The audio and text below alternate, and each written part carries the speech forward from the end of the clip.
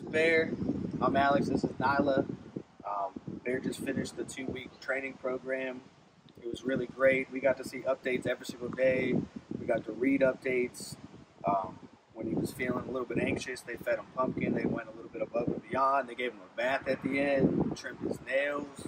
Um, the best part was watching the videos and seeing him in action every day so you could see the progress every single day. So that's really great. He's always had a lot of energy, and now his energy is controlled. So that's the best part.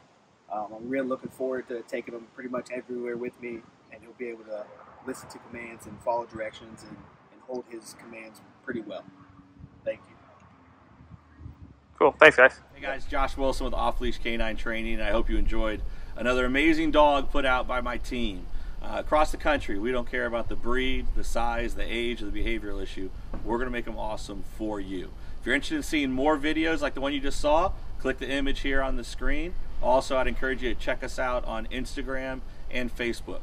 And before you leave our channel, make sure you subscribe. So every time a new video comes up of another outstanding dog doing some crazy, amazing things, you're going to get notified in your email address. And for more information on other locations we have around the country, check us out at joshwilson.dog.